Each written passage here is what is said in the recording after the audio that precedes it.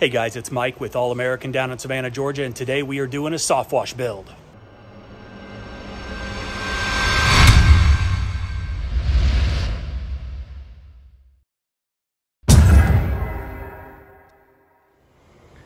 So I've got the trailer at the house today and I am going to do a little walkthrough on the soft wash build I just did this past weekend. Uh, this is an ugly old trailer, but it gets the money in and uh, couldn't be more happy with it. Got a Bandit high flow, Honda powered, eight gallon per minute pump pressure washer over there, a couple uh, big tanks with water and bleach or sodium hypochlorite, uh, soft wash reel on that side that is connected to a proportioner that is connected to a pump that has got all the goodies inside this aluminum box. I actually got real lucky. This thing was on sale at Lowe's for like 139 bucks. So couldn't go wrong. So I snagged it. It's a little overkill, but it gives us some storage for lances, wands, extra parts, uh, things that um, you always need. But uh, we'll start with the outside. There's the proportioner.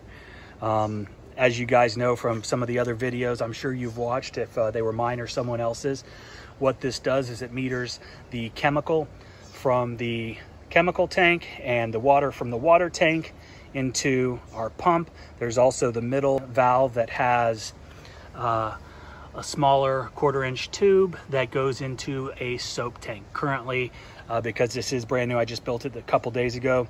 Um, right now we're just using that uh, bucket for the soap. Uh, we did a roof yesterday and it definitely needs to be a much bigger soap container for the volume of work that uh, this trailer does. So uh, let's take a look inside.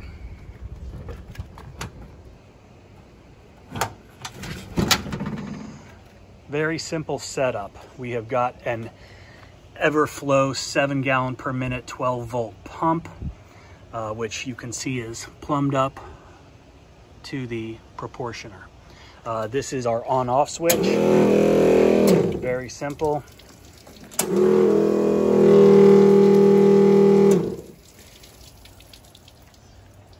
A deep cycle marine bat battery that is in there.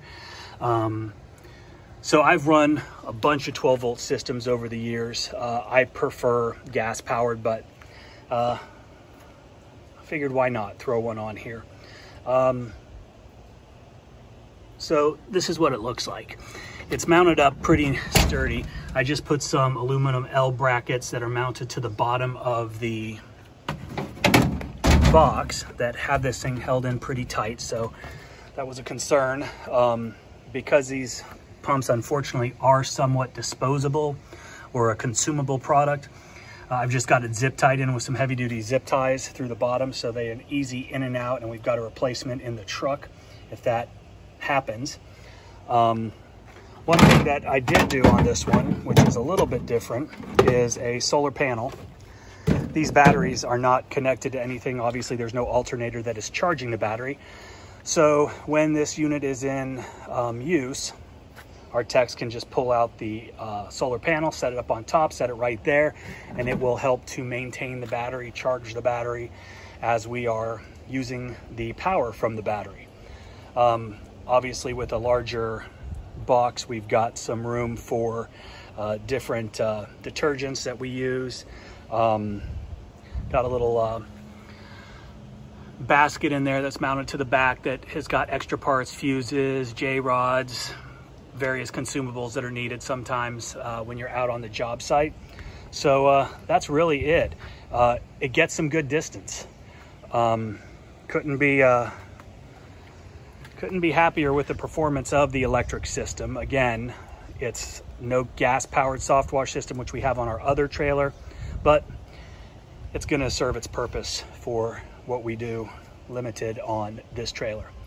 But uh, nice little setup, pretty inexpensive.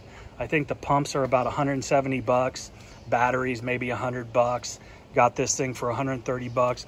You can put these proportioner valves together yourself probably for 200 bucks, I'm guessing. I've made a video on that with all the parts. I'll leave a link uh, at the bottom and a little card for you to check out.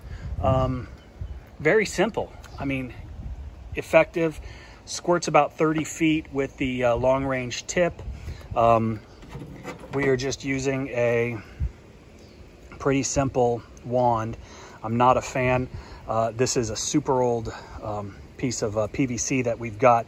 It broke on the first job, learned the hard way, um, but we had this sitting on the truck, so it was an easy and quick repair, but fairly simple. I think we're gonna go with some of the uh, some of the guns just because it's a little bit easier. Uh, they are a bit more expensive, so we'll see how that goes. If we uh, go through those at a rapid rate, then uh, we'll go back to these uh, cheap little ball valves.